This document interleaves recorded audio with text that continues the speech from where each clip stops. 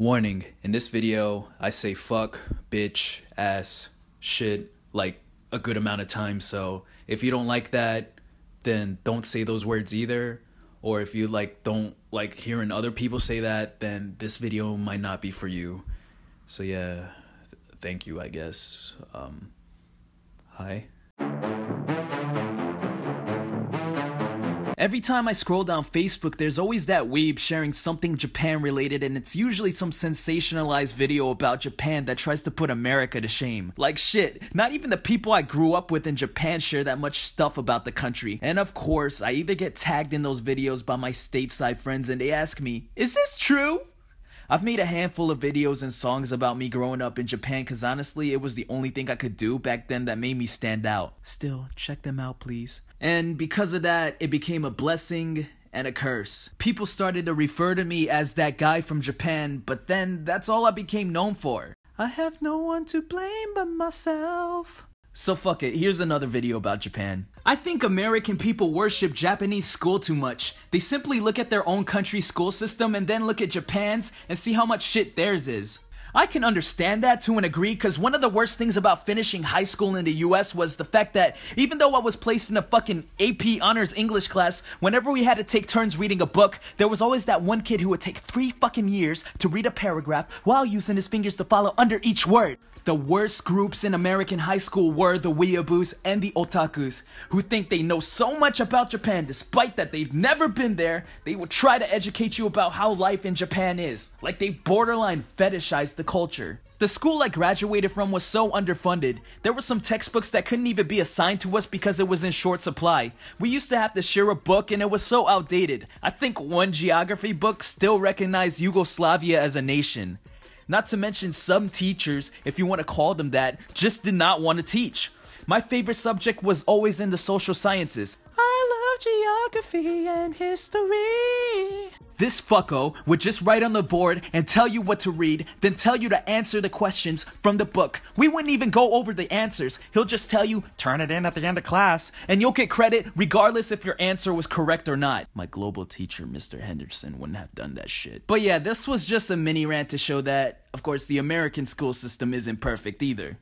Okay, here's why I did not like going to school in Japan. So I first attended an English speaking school in Japan. I was there from kindergarten to the end of third grade. From there was when I started going to a Japanese speaking school and my god, apart from my 11th and 12th grade years, 4th to 8th grade would be one of the worst times of my life like ever.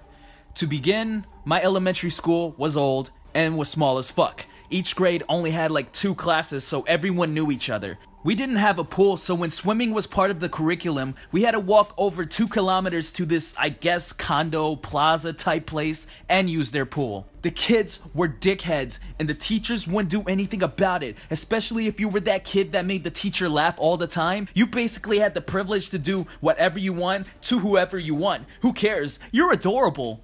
Fifth grade, this kid who was the same skin complexion as me, he was like really tan for someone who was full Japanese, made fun of my skin tone. He went and on and on and on for like a good 10 minutes, not even roasting me, just simply bringing up that my skin is dark, and the teacher obviously knew what was going on since we were sitting in front, but that bitch continued to ignore what was going on. Luckily, I did get my revenge by throwing that kid's backpack out the window, and I stole a lot of my teacher's pens. Fucking bitch, that's why you got divorced twice. Alright, now middle school. Middle school was fucking shit. Like, not not just shit, it was fucking unko. It was right next to my elementary school, so that should tell you something. Like this bitch had so many rules, it didn't make any sense at all, bro. One rule was that we couldn't stop at a kombini on the way back home.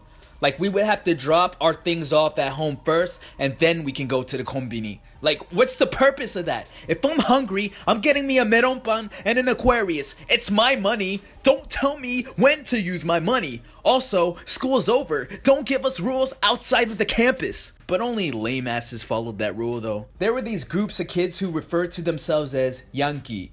These wannabe tryhards always sag their uniform pants to make them look baggy. They would be loud for no reason, and to look tough, they would humiliate the weakest looking kids in the class. And of course, one of them was me. Funny thing is, they would make fun of my American heritage, or just the simple fact that I was mixed, while outside of school they wore brands like Tim's, Jordans, Ralph Lauren, and listened to a lot of terrible Japanese rappers whose English skills were weaker than Hideki Tojo's hairline. But yeah, most of these wannabe tough kids only acted big when they were in groups.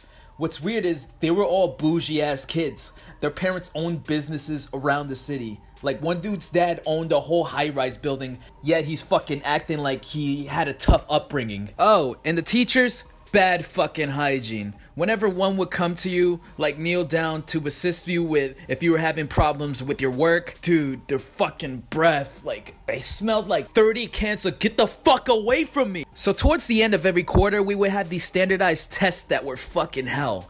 Most of the stuffs weren't even taught to us because the teachers were too busy I don't know, trying to find more rules to restrict our freedom. The only good that came out of it was uh, three consecutive half days. But going through test after test after test after test, you just feel like giving up the whole time. And yeah, we have to take these things seriously or else it's gonna haunt us when we want to go to high school. Yeah, attending a regular high school in Japan is a privilege. You have to earn it through standardized testing. Whoop de freaking do. And you're probably wondering, what's wrong with that? Well, here's the thing the system, it's too strict. Anyone who did get good grades and ended up going to a good high school had the personality of a maid cafe hat, never questioning anything, even if he or she disagreed. Like, no individualism whatsoever. What's the point of being smart, quote unquote smart, if you're dull as a person and have zero opinions on anything? It's like the education system forces every kid to learn the same way.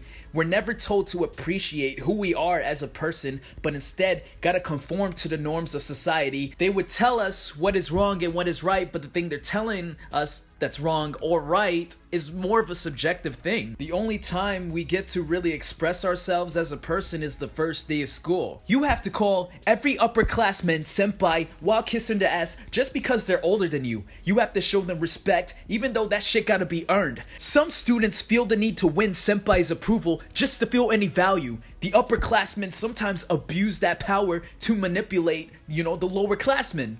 So ask yourself, why should Senpai notice you? We're even graded by how we organize our notes. If the teacher doesn't like your study strategy, despite the fact that it works for you, you get a bad grade. One misconception about Japanese school is that we attend six days out of the week. That may be true for some schools, but not for the ones I went to. There was that one day in the school year where we had class on a Saturday, but it was optional, and even so, we had the Sunday and Monday off. Same goes for when we would have a school event on a Saturday like a Taiikusai. But by far, the worst thing about Japanese school was